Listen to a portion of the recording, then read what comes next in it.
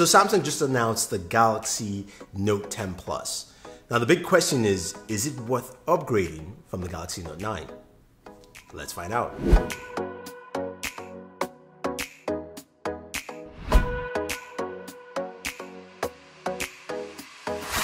The Galaxy Note 10 Plus is a lovely looking device. It packs in a lot of specs, but for some people, the Note 9 is okay and it's worth it.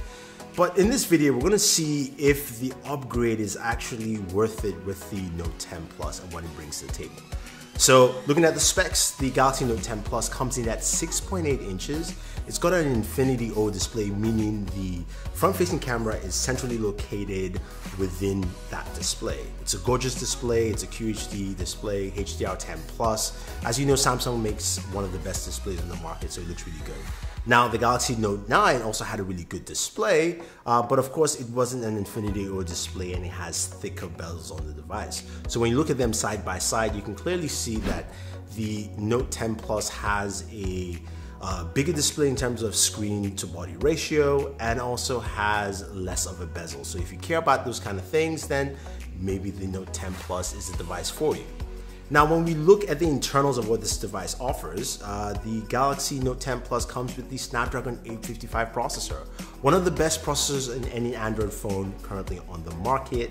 And the Galaxy Note 9 comes with a Snapdragon 845. Now, the 845 is a great, very good chipset, did wonderful things last year, but 855 is much better, better CPU performance, better GPU performance. And in terms of gaming, this, this uh, processor does really, really well. We did some gaming on the Note 10 Plus. We're able to also capture our uh, screen by doing some screen recording, which is a new feature on the Galaxy Note 10 Plus. And we're also able to capture um, through the front facing camera to record my face, record what I was saying. So you can record your gameplay clips, which is something that is unique and different with the Note 10 Plus over the Galaxy Note 9. Now, this feature might come to the Galaxy Note 9 later on, but we don't know that yet. So at this point in time, that is a feature I would say the Note 10 Plus has over the Galaxy Note 9. Now, besides the 855 processor, we're talking about, of course, you know, RAM. The Note 9 comes with up to 8 gigs of RAM, while the Note 10 Plus comes with 12 gigabytes of RAM standard. Your storage also starts at 256 for the Note 10 Plus, goes up to 512. You can expand that via micro SD while the Galaxy Note 9 stops at 512 and you can expand that as well. So there is some benefit in terms of storage and RAM with the Note 10 Plus, but I'll say that's a bit of a wash just because most users usually use about 256 gigabytes of storage. So in terms of batteries, the Galaxy Note 9 has a 4000 milliamp battery, which is great, while the Galaxy Note 10 Plus comes with a 4300 milliamp battery, much bigger, giving you, of course, uh, longer battery life, Plus, charging on both devices are different. The Note 10 Plus comes with a 25 watt charger in the box, but can go up to 45 watts, meaning you're going to be able to charge your Galaxy Note 10 Plus within an hour, as opposed to 15 watt charging on the Galaxy Note 9. So again, there's an improvement there. And if this is something that you like, then it definitely works out for you. When in terms of wireless charging, the Galaxy Note 9 charges at 9.5 watts, while the Note 10 Plus charges at 15 watts. So another improvement here in this case uh, for those, of course, who are into productivity, want longer battery life, want faster ways to charge your battery, the Galaxy Note 10 Plus has the advantage as well. Now, when it comes to software, both of them are running the latest One UI um, software from Samsung, which is running Android 9.0. Um, but there are other features built into this that I think uh, the Galaxy Note 10 Plus takes advantage of. It's got a brand new editor, so you can edit your photos and videos. A simple editor that at least takes advantage of what you have with the uh, processor on this device. Then you also have some really cool features with something called Play Galaxy Link, which allows you to stream your PC games directly to your Galaxy Note 10 Plus.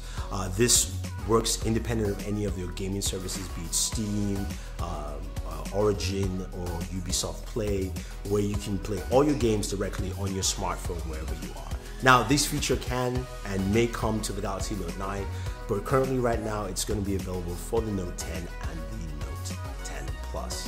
Now, another feature that's also baked into the Note 10 Plus is linked to Windows. Now we all know well that Apple has AirDrop and it's a great feature for you to, of course, dump your files from your smartphone to your laptop uh, or to another device. Link to Windows is something that Microsoft created that allows you to do some of that by dumping, of course, your images from your device to your laptop, as well as also being able to answer your text messages on your laptop.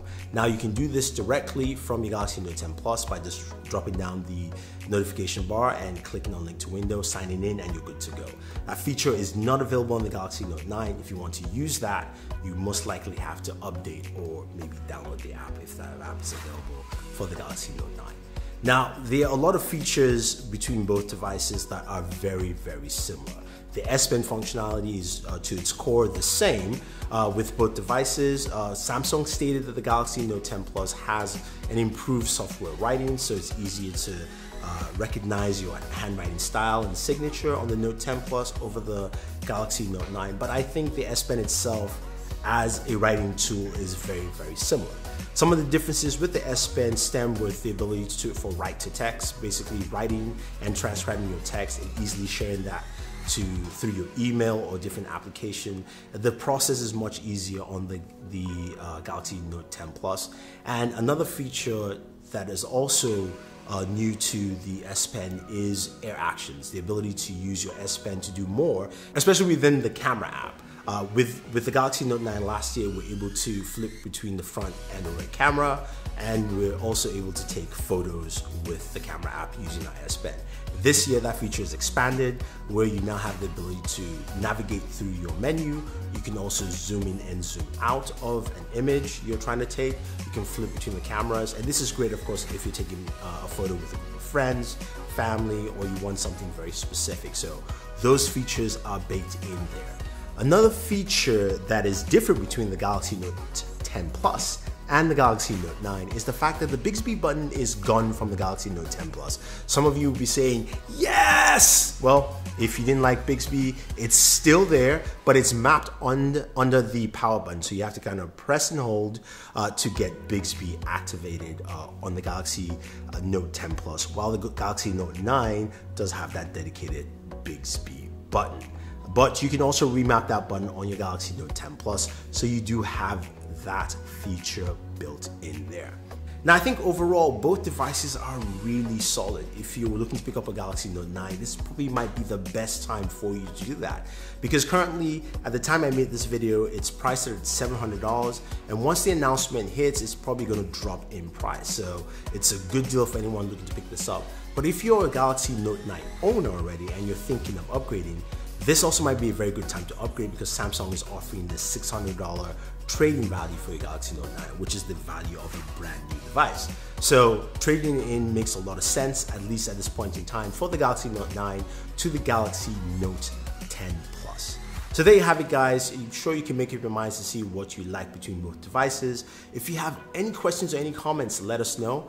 Don't forget to like and share this video, subscribe to the channel if you haven't already, smash the notification bell, and always enjoy your entertainment.